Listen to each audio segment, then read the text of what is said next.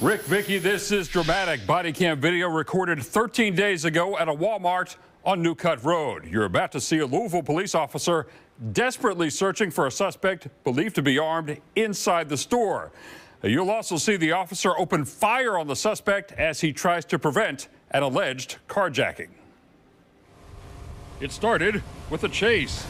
Kentucky State Police were trying to stop that black car when it crashed into a pickup.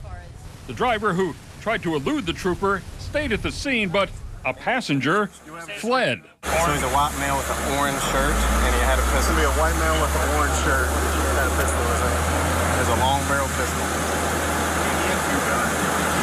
He had two guns. I saw the one. Louisville Metro Police Officer Brandon Brinkley leaves the crash site in search of the fugitive, 37 year old Randall Allen.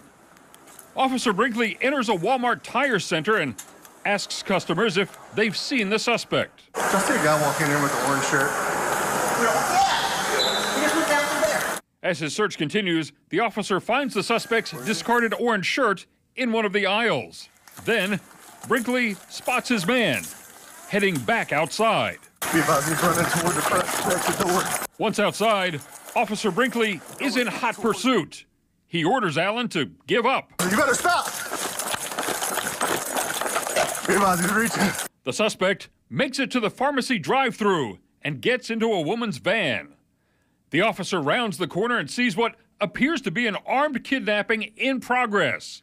Police say Allen revved the engine to come at Officer Brinkley. What happens next is chaotic and jarring. You better stop. Get out of the car. Get out of the car. Get out of the car. Get out of the car. Get out of the car. Get out, man. Get out. Get out of the car now. Hands up. Hands up. Hands up. Fired. Hands up. The suspect is hit by at least one of the officer's bullets. The woman in the van escapes unharmed. Officer Brinkley holds Allen in the car until backup arrives. He's pulled out of the van, handcuffed, and given medical attention for his wounds. According to LMPD, a real gun and a replica weapon were recovered at the scene. Randall Allen has been released from the hospital and is charged with first degree robbery, first degree unlawful imprisonment, and being a felon in possession of a firearm. We are very fortunate uh, that nobody uh, other than the assailant himself uh, was injured in that, that the woman who was the victim of a horrific carjacking attempt is safe. Louisville police say a copy of that video and report of the incident has been turned over to Kentucky State Police for review. In the meantime, Officer Brinkley remains on paid leave as the investigation continues.